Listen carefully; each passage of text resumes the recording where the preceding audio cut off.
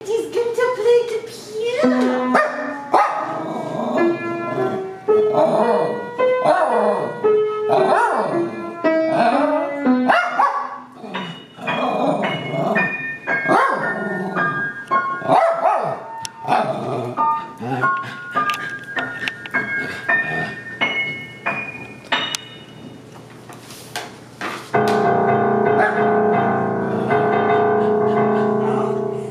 Thank you.